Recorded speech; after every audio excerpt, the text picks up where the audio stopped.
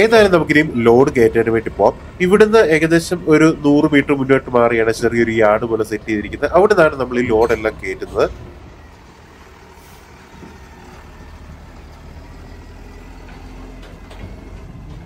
ഇവിടുന്ന് J C ബിയുടെ ഹിറ്റാച്ചിയുടെ ഡോസറുകളാണ് കൂടുതലായിട്ടും ലോഡ് കയറ്റുന്നത്. അതാകുമ്പോൾ വളരെ പെട്ടെന്ന് തന്നെ ലോഡ് കയറ്റി തീരുന്നതാണ്. ട്രെയിലർ ആയതുകൊണ്ട് നമുക്ക് റിവേഴ്സ് തിരിച്ച് കയറ്റിയിടാൻ വേണ്ടിയുള്ള ചെറിയ ഒരു ഇത് മാത്രമേ ഉള്ളൂ. നമ്മുടെ ആ ഒരു ഡോസർ കയറ്റുന്ന അനുസരിച്ച് ആ ഒരു രീതിക്ക് വേണ്ടി നമുക്ക് വണ്ടി ഇട്ട് കൊടുക്കണം. ഏതായാലും ഇനി നമുക്ക് ലോഡ് കയറ്റുന്നത് കാണാം.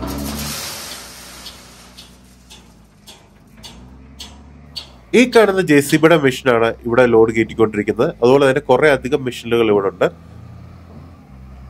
ഇവിടുന്ന് പാറമടയിൽ നിന്ന് ലോഡ് കയറ്റുന്നതും അതുപോലെ തന്നെ ഇങ്ങോട്ട് കൊണ്ടുവരുന്നതുമായിട്ടുള്ള ഒത്തിരി വണ്ടികൾ ഈ ഒരു ഭാഗത്തോട്ടുണ്ട്. കൂടുതലായിട്ട് വോൾവോ അതുപോലെ തന്നെ വോൾവോടെ തന്നെ പല ടൈപ്പ് ഓഫ് ഡബ് ട്രക്കും കാര്യങ്ങളൊക്കെ ഈ ഭാഗത്തായിട്ട് ഞാൻ കണ്ടിരുന്നു. നമുക്ക് ഷൂട്ടിങ്ങിന്റെ പെർമിഷൻ ഇല്ലാത്ത കാരണമാണ് നമുക്ക് ഒത്തിരി അവിടെ നിന്ന് എടുക്കാഞ്ഞത്.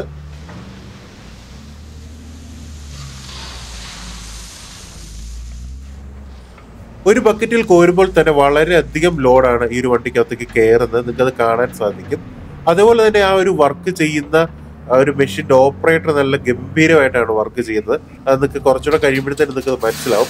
വണ്ടി ലെവൽ ചെയ്യുന്ന കാര്യങ്ങളൊക്കെ വളരെ നല്ല നൈസായിട്ടാണ് പുള്ളി ചെയ്തിരിക്കുന്നത്.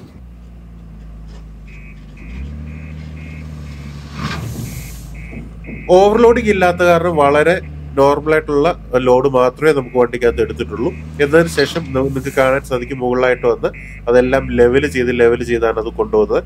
അങ്ങനെ ഓരോന്നോരോന്നായിട്ട് സെറ്റ് ചെയ്തതിന് ശേഷം മുകളിൽ നമുക്ക് പടുതാനോടുള്ള ബാക്കി കാര്യങ്ങളൊക്കെ ചെയ്യാം. ഇനി ലോഡ് ഇല്ലാത്തടത്തേക്കാണെങ്കിൽ വീണ്ടും കുറച്ചുകൂടെ മെറ്റൽ എടുത്തതിന് ശേഷം അവിടെ ഫിക്സ് ചെയ്ത് ഫില്ല് ചെയ്ത് പോകും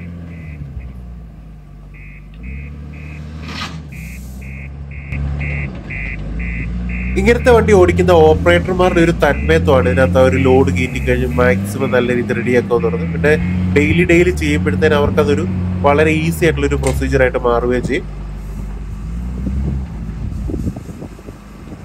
അങ്ങനെ ലോഡ് ഓൾമോസ്റ്റ് കയറി തീരാറായി. ഓൾമോസ്റ്റ് കയറി തീർന്നു തന്നെ പറയാം. ഏതായാലും ഇനി നമുക്ക് പടുത ഇടണം. അങ്ങനെ നമ്മുടെ സിജോ ചേട്ടൻ പടുതയും കാര്യങ്ങളെല്ലാം കറക്റ്റ് ആയിട്ട് വലിച്ച് ഇട്ടു പൊക്കോണ്ടിരിക്കുവാണ്. ഇനി നമുക്ക് ഇവിടുന്ന് ബില്ല് മേടിക്കാനുള്ള പരിപാടി മാത്രമേ ഉള്ളൂ. ലോഡൊക്കെ കയറ്റി സിജറ പോയേക്കാം? ആ പോവാ. ആ ഓക്കെ അപ്പൊ എടുത്തു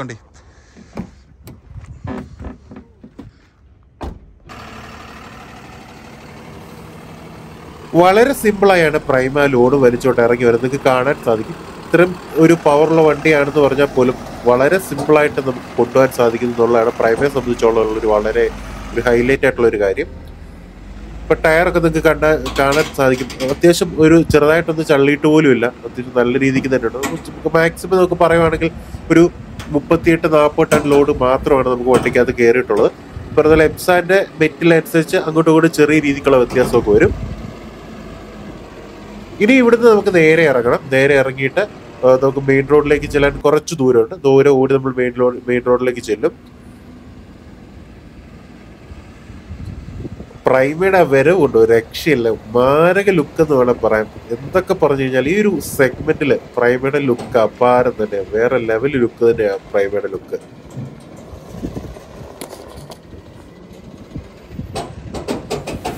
അങ്ങനെ ലോഡെല്ലാം കയറ്റി നമ്മൾ വണ്ടി സെറ്റാക്കി ഇവിടെ കൊണ്ട് ഇറക്കി നിർത്തിയിരിക്കുവാണ്. നമുക്ക് ഏതായാലും ഇവിടെ നിന്ന് പോകണം അപ്പോൾ നമ്മുടെ സുജ ചേട്ടനോട് ബില്ല് മേടിക്കാൻ വേണ്ടി അങ്ങോട്ട് പോയേക്കുവാണ്. അപ്പം അതുകൊണ്ട് നമുക്ക് ജസ്റ്റ് ഇനിയും ഇവിടുന്ന് ലോഡെല്ലാം കയറ്റിയതിന് ശേഷം ഇറക്കണം. ഞാൻ നിങ്ങൾ മുമ്പേ തന്നെ നമ്മുടെ black diamond photos air suspension trail അവരാണ് ഒരു ട്രെയിലർ എടുത്തിരിക്കുന്നത്. നമ്മുടെ ജോസ്കോ പോലെ ഈ ഒരു ട്രെയിലർ പണിയുന്ന മറ്റൊരു കമ്പനിയാണ് ഈ ഒരു ബ്ലാക്ക് ഡയമണ്ട് എന്ന് പറയുന്നത്. ഇവിടെ കൂടുതൽ ഇഷ്ടം പോലെ മാന വോളോ അങ്ങനത്തെ വണ്ടികളാണ് ഇവിടെ കൂടുതലായിട്ടും ഓടിക്കൊണ്ടിരിക്കുന്നത്. ഫുൾ മടയിലെ ഓട്ടോ ആയതുകൊണ്ട് തന്നെ. അപ്പോൾ ഏതായാലും നമുക്ക് ഇവിടെ നിന്ന് ഇനിയും ഇറങ്ങാം. ഇവിടെ നിന്ന് ഇറങ്ങി നമുക്കിനിയും സ്കൂൾ ടൈം ഉണ്ടൊക്കെ അപ്പോൾ അതൊന്ന് കണക്ക് കൂട്ടി നമുക്ക് ഇവിടെ ഇനി ഓടി നേരെ ഇറങ്ങി ചെല്ലണം. ബില്ല് കിട്ടിയോ? ഉണ്ടല്ലേ? ആ ഓക്കെ ഓക്കെ ശരി പോയേക്കുമ്പോൾ അങ്ങനെ ബില്ലും കാര്യങ്ങളും എല്ലാം കിട്ടി. നമുക്ക് ഏതായാലും ഇനിയും പോവാം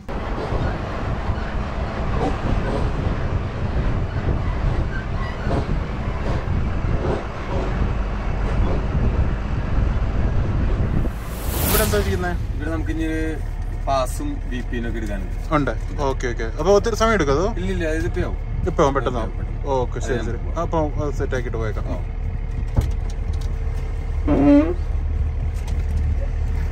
അങ്ങനെ നമ്മൾ ലോഡൊക്കെ കയറ്റി തിരിച്ച് നമ്മളിപ്പം കോയമ്പത്തൂർ റോഡിലേക്ക് നമ്മൾ പൊക്കോണ്ടിരിക്കുവാണ്.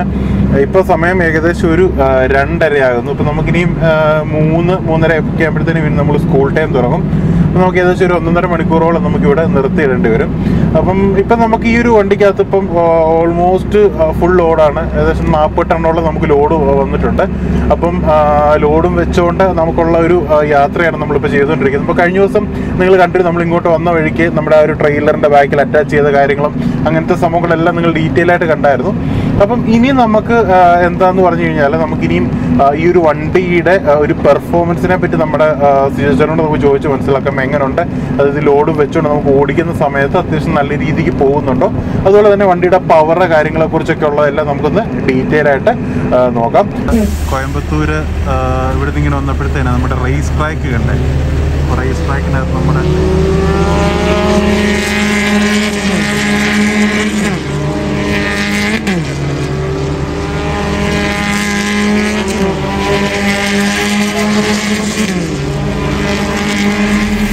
ഇനി നമ്മൾ ഇവിടുന്ന് നേരെ പോകുന്നത് ഒരു വെയിറ്റ് ബ്രിഡ്ജിലേക്കാണ് നമ്മുടെ ടോട്ടൽ വണ്ടിയുടെ വെയിറ്റ് നമുക്ക് എടുക്കണം ഈ ലോഡ് വെച്ചോണ്ട്.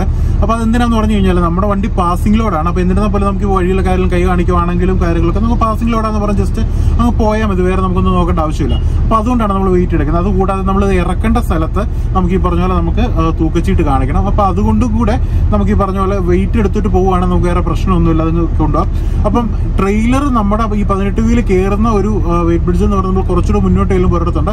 അവിടെ മാത്രമേ പതിനെട്ട് വീൽ കയറത്തുള്ളൂ. ബാക്കിയുള്ളിടത്തെല്ലാം കഷ്ടി പതിനാറ് വീൽ റേഞ്ചിലൊക്കെ കയറത്തുള്ളതുകൊണ്ടാണ് നമ്മൾ നേരെ അങ്ങോട്ട് പോകുന്നത്. ഏതായാലും നമുക്ക് അവിടെ ചെന്ന് വെയിറ്റ് കൂടെ എടുത്തതിന് ശേഷം നമുക്ക് വണ്ടിയുടെ ബാക്കി കാര്യങ്ങളൊക്കെ സംസാരിച്ച് നാട്ടിലേക്ക് പോകാം നമ്മളിനിയും ഇവിടെ ഒന്ന് വെയിറ്റ് നോക്കണം അല്ലേ? അപ്പോൾ നമ്മളിപ്പോൾ വെയിറ്റ് ബ്രിഡ്ജിലേക്ക് ഇവിടെ കയറാൻ പോവാണ്. ഇവിടെ വെയിറ്റ് നോക്കിയിട്ടാണ് നമ്മളിപ്പോൾ കയറി പോകുന്നത് നമുക്ക് പാസിംഗ് ലോഡ് അല്ലേ ഉള്ളൂ? പാസിംഗ് ലോഡ് ഓക്കെ ആ. ഉണ്ട്. ഓ സ്ലിപ്പ് വേണം നമുക്ക്. ഓക്കെ ഓക്കെ ഓക്കെ വണ്ടി കയറില്ല ഇല്ല. അപ്പൊ അത് കാരണം കൊണ്ട് ഇവിടുന്ന് തൂക്കെടുത്ത് പോകണം ശരി ശരി ശരി ശരി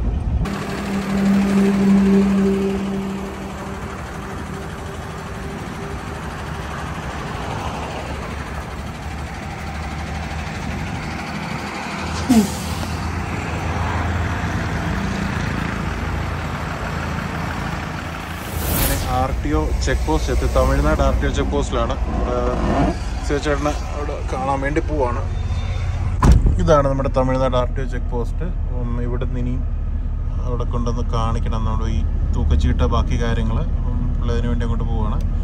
അപ്പം അത് കഴിഞ്ഞാൽ നമുക്ക് പിന്നെ കേരള ചെക്ക് പോസ്റ്റിൽ നമുക്ക് നിർത്തേണ്ട ആവശ്യമൊന്നുമില്ല. നമുക്ക് നേരെ കയറി പോയാൽ മതി അങ്ങ്. അപ്പം സഹിച്ചേട്ടാ ശരിക്കും നമ്മളിപ്പോ ഈ ടാറ്റ പ്രൈം ഇപ്പം ഒരു മൂന്ന് മാസം മേളിലായി ഇപ്പം ഓടിക്കാൻ തുടങ്ങിയിട്ടല്ലേ എത്ര മാസമായി?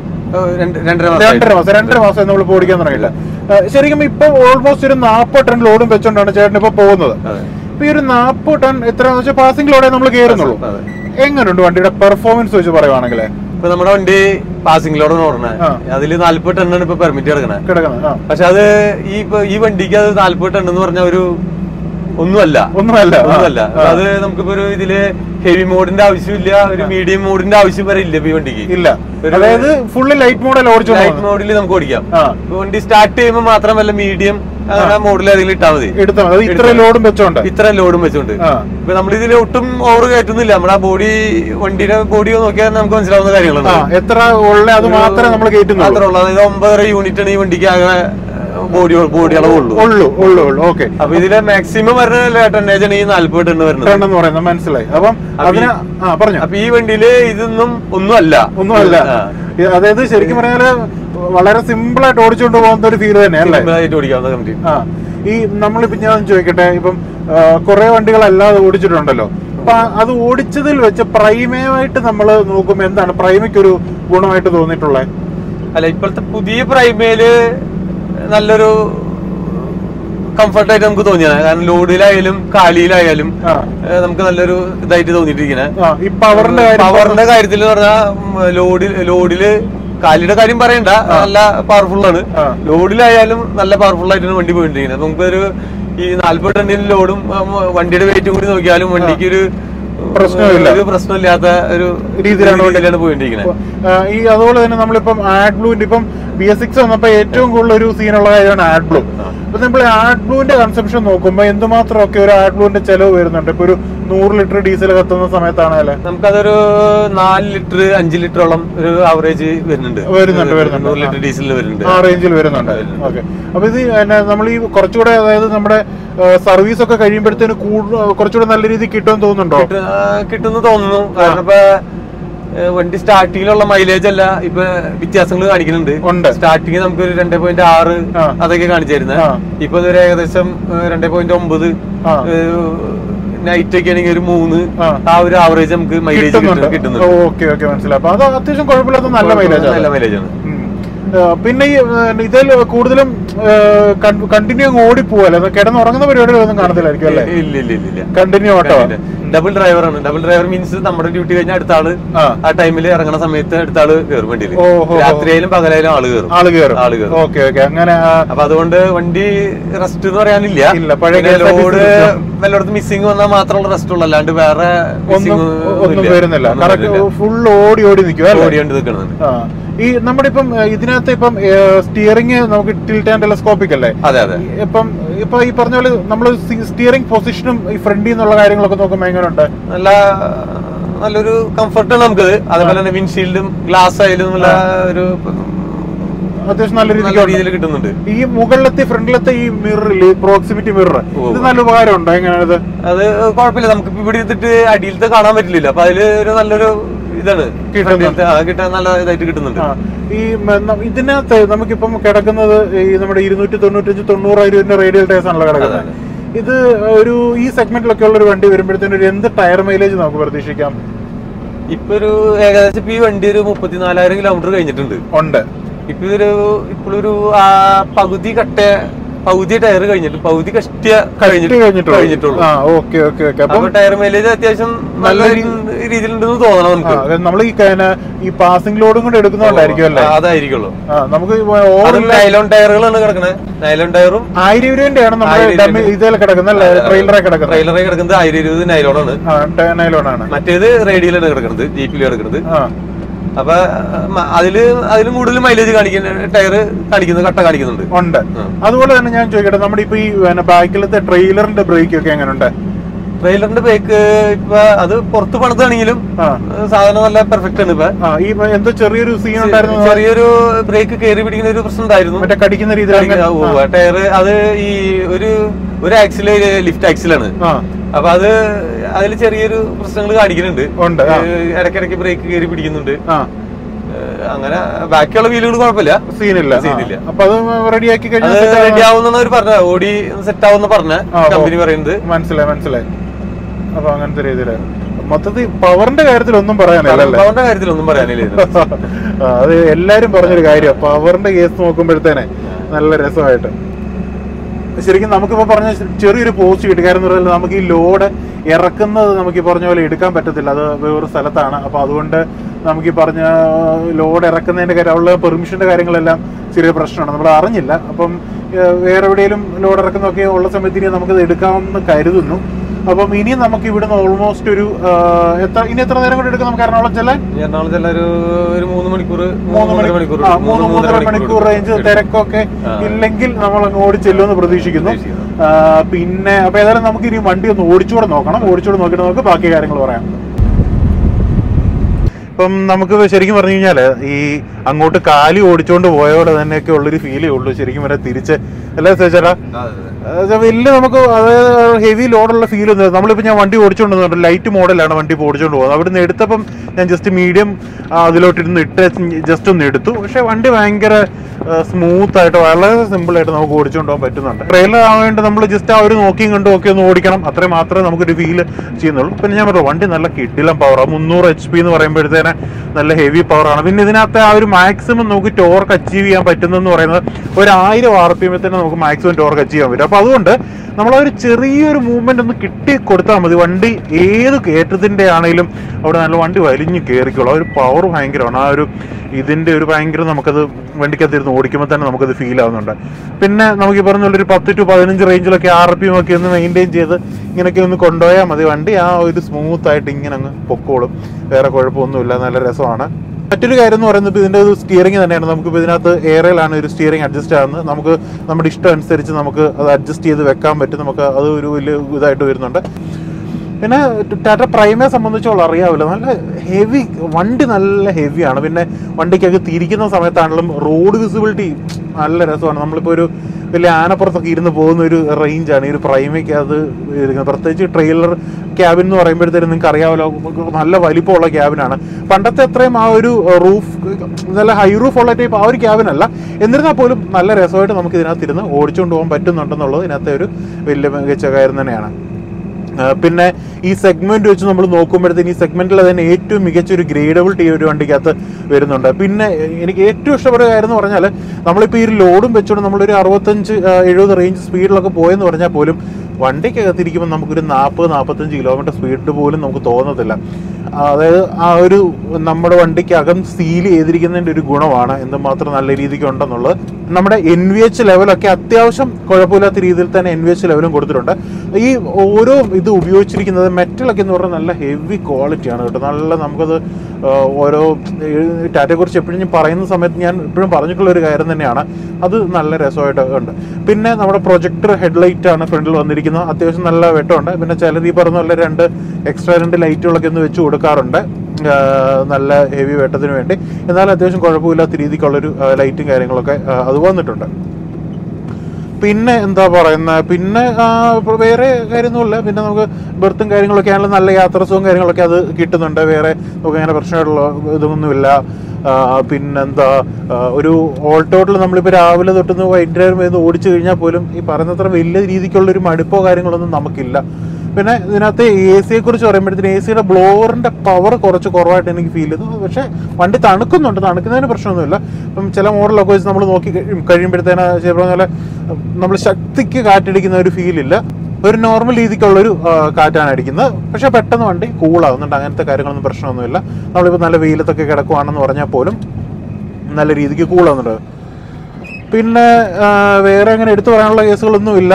അത്യാവശ്യം ഇതൊക്കെ തന്നെയാണ് കൊണ്ടുപോകാനുള്ളത്. പിന്നെ നമുക്ക് ഈ പറഞ്ഞ പോലെ അത്ര ഹെവി ലോഡുള്ള ഫീലൊന്നും നമുക്ക് ഈ പറഞ്ഞ പോലെ വണ്ടി ഓടിക്കുമ്പോഴില്ലാത്തതുകൊണ്ട് നമുക്ക് അത്രയധികം ഇതെന്ന് പറഞ്ഞു കഴിഞ്ഞാൽ നമുക്ക് രാജാവിനെ പോലെ ഒരു പത്ത് മുന്നൂറ് എച്ച് പി ഒക്കെ ഉള്ളൊരു വേറെ തലത്തിലുള്ളൊരു വണ്ടിയല്ലേ? നമുക്കിപ്പോൾ അതിന്റേതായൊരു ഇത് നമുക്ക് വണ്ടിക്കകത്തിരുന്ന് ഓടിക്കുമ്പോഴും മനസ്സിലാവും. അപ്പോൾ ഇത്രയൊക്കെ കാര്യങ്ങളാണ് പ്രധാനമായിട്ടും നമ്മുടെ ഈ ഒരു ടാറ്റ പ്രൈമ ഓടിക്കുമ്പോഴത്തേന് എനിക്ക് പറയാനുള്ളത്. എന്നിരുന്നാലും നമുക്ക് ഈ പറഞ്ഞ പോലെ ഇതിന്റെ ഇനിയൊരു നെക്സ്റ്റ് വേർഷൻ ഉണ്ട്. അതായത് നമുക്കറിയാമല്ലോ ഡബിൾ ആക്സിൽ വരുന്ന ടൈപ്പ് ഒരു മോഡലുണ്ട്. അപ്പോൾ ഡബിൾ ടാക്സ് ആ ഒരു മോഡലിന്റെ ഒരു ലോഡ് റിവ്യൂ കൂടെ ചെയ്യാൻ നമ്മൾ നോക്കുന്നുണ്ട്. അപ്പം അതിന്റെ ഒരു ലോഡ് റിവ്യൂ ചെയ്യുമ്പോഴത്തേന് അതിന്റെ കുറച്ച് കാര്യങ്ങളൊക്കെ ആയിട്ട് നമുക്ക് പറയാം. അങ്ങനെ നമ്മുടെ ഇഡിലെ ഒരു കോയമ്പത്തൂർ കൊച്ചി ട്രിപ്പ് ഏകദേശം നമ്മൾ എൻഡിലേക്ക് പോയിക്കൊണ്ടിരിക്കുന്നു. നമുക്ക് ഈ ലോഡ് ഇറക്കുന്ന കാര്യം കാഴ്ചകളൊന്നും നമുക്ക് ഷൂട്ട് ചെയ്യാൻ പറ്റത്തില്ല. കുറച്ച് പെർമിഷന്റെ പ്രശ്നം കാര്യങ്ങളൊക്കെ ഉണ്ട്. അപ്പൊ അതുകൊണ്ട് നമ്മൾ ഷൂട്ട് ചെയ്യാത്തത്. അപ്പം നമുക്ക് നമുക്കിനി ഇവിടെ നേരെ നമ്മുടെ ഹൃദയത്തെ എടുത്തോട്ട് വിട്ട് കുറച്ച് കാര്യങ്ങളോടൊക്കെ ഒന്ന് ചോദിച്ച് മനസ്സിലാക്കാം. അപ്പം ചേച്ചേട്ടാ ഒരു കിടിലൻ ട്രിപ്പായിരുന്നു നമ്മൾ കുറെ കാര്യങ്ങൾ പുതിയതായിട്ട് എനിക്കും പഠിക്കാൻ പറ്റി ഒത്തിരി കാര്യങ്ങൾ നമുക്ക് അറിയാനും പറ്റി. അപ്പം ഞാനിപ്പം ഇവിടെ നമ്മളിപ്പം നമ്മുടെ ട്രിപ്പ് അവസാനിപ്പിക്കുകയാണ്. അപ്പം ഞാൻ നേരെ ഇനി അങ്ങോട്ട് പോകണം അപ്പം ചോദിച്ചാൽ വീണ്ടും നമുക്ക് കാണാം. കാണാം. ഇനി എന്നത്തേലും ഒക്കെ ആയിട്ട് നമുക്ക് വീണ്ടും ഓരോ ട്രിപ്പ് ഒക്കെ ആയിട്ട് ഇടയ്ക്ക് പോവാം. ഓക്കേ, ഓക്കെ ശരി. ഓക്കെ ഓക്കെ ശരി കേട്ടോ അപ്പം നമ്മുടെ കൂടെ ഇന്ന് നമ്മുടെ പ്രൈമ ഫിഫ്റ്റി ഫൈവ് തേർട്ടിയുടെ ഓണറായ നമ്മുടെ Vinod Kottakkal സാറുണ്ട്. Sir welcome to our channel sir ഇപ്പം പുതിയതായിട്ട് ഇപ്പം സാർ ഫിഫ്റ്റി ഫൈവ് തേർട്ടി എടുത്തു നമ്മുടെ പ്രൈമ. എന്തുകൊണ്ട് ഈ ഒരു റേഞ്ചിലേക്ക് കടന്നു എന്നുള്ളതാണ് നമ്മുടെ ഒരു പ്രധാന ക്വസ്റ്റ്യൻ അപ്പം അതിനു മുന്നേ സാറ് നമ്മുടെ ഈ ഒരു പ്രസ്ഥാനത്തെക്കുറിച്ചും അതുപോലെ തന്നെ ബാക്കി കാര്യങ്ങളെക്കുറിച്ചൊക്കെ ഒന്ന് പറയാമോ എന്റെ പേര് വിനോദ് കെ പോൾ എന്നാണ്. ഞാൻ കോട്ടക്കൽ ട്രേഡേഴ്സിന്റെ പ്രൊപ്പറേറ്ററാണ് ഓക്കെ. നമ്മൾ ഈ ഫീൽഡിൽ ഏകദേശം ഒരു ഇരുപത് വർഷത്തിന് മേലെയായി ടിപ്പർ സെഗ്മെന്റിൽ തന്നെ വർക്ക് ചെയ്യുന്നത്. നമുക്ക് ഒരു അമ്പതിൽ പരം വണ്ടികൾ ഫ്ലീറ്റിൽ നമുക്ക് ഓടുന്നുണ്ട്. നമ്മുടെ മെയിൻ സർവീസ് എന്ന് പറയുന്നത് പൊള്ളാച്ചിയിൽ നിന്ന് കൊച്ചി ആണ്. കൊച്ചിയിലേക്കാണ് നമ്മൾ മെയിൻ സർവീസ് മനസ്സിലായി. ഇപ്പോൾ നമ്മൾ ഇപ്പോൾ നമ്മൾ എടുത്തിരിക്കുന്ന വണ്ടി എന്ന് പറയുന്നത് ട്രെയിലർ സെഗ്മെന്റ് ആണ്. ടാറ്റയുടെ തന്നെ ട്രെയിലർ സെഗ്മെന്റ് ആണ്. നമ്മൾ മറ്റുള്ള വണ്ടികൾ എന്ന് പറയുന്നത് കിടക്കുന്ന വണ്ടികൾ എന്ന് പറയുന്നത് ഒക്കെ ഓവർലോഡ് കൺസെപ്റ്റാണ് അതായത് നിയമ വിധേയമായിട്ടല്ല അത് പോകണം ശരിക്കും. ഇനിയുള്ള കാലഘട്ടങ്ങളിൽ അത് മുന്നോട്ട് പോകാൻ പറ്റില്ല എന്നുള്ളത് തിരിച്ചറിവ് നമുക്കുണ്ട്. ഈ ജാനുവരി ഒന്നാം തീയതി മുതൽ എല്ലാവരും പാസിംഗ് ലോഡിലേക്ക് മാറുകയാണ് എന്നുള്ള ഒരു കണ്ടീഷനിലേക്ക് ടിപ്പർ ലോറി ഓണേഴ്സ് അസോസിയേഷന്റെ മേഖലയിലുള്ള ആളുകളൊക്കെ തീരുമാനിച്ചിരിക്കുന്നതുകൊണ്ട്. മനസ്സിലായി. നമ്മൾ ഇനി പാസിംഗ് ലോഡിലേക്ക് തന്നെ മാറണം. അപ്പോൾ ഈ പാസിംഗ് ലോഡ് ഇംപ്ലിമെന്റ് ചെയ്യുമ്പോൾ നമുക്ക് ഏറ്റവും മാർക്കറ്റിൽ ഏറ്റവും നല്ല രീതിയിൽ കോമ്പറ്റ് ചെയ്ത് ബിസിനസ് ചെയ്യണം. ഈ ബിസിനസ് ചെയ്യാനായിട്ടാണ് നമ്മൾ ട്രെയിലർ സെഗ്മെന്റിലേക്ക് മാറിയിരിക്കുന്നത്. ഓക്കെ ട്രെയിലർ സെഗ്മെന്റ് എന്ന് പറയുന്നത് പക്ക പാസിംഗ് ലോഡാണ് നമുക്ക് പാസിംഗ് ലോഡ് ആകുമ്പോൾ നമ്മൾ ഏറ്റവും പ്രധാനമായിട്ട് നമ്മൾ ശ്രദ്ധിക്കുന്ന കാര്യം ഈ ടാറ്റ തന്നെ എടുക്കാനുള്ള കാരണം എന്താണെന്ന് വെച്ച് കഴിഞ്ഞാൽ ഇതിന്റെ പ്രൈം മൂറ് മറ്റുള്ള വണ്ടികളെ അപേക്ഷിച്ച് ഒന്നര ടണ്ണിന് കുറവാണ്.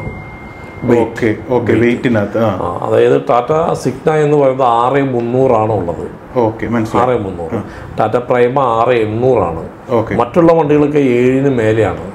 അപ്പോൾ ഒരു ടണ്ണിന് മിനിമം കുറവുണ്ട്. നമുക്ക് ടോട്ടൽ വണ്ടിക്ക് അമ്പത്തിനാല് ടണ്ണ് പെർമിറ്റാണ് ഉള്ളത് ഒരു അഞ്ച് ശതമാനം നമുക്ക് അധികം കയറ്റാനുള്ള നിയമമുണ്ട്.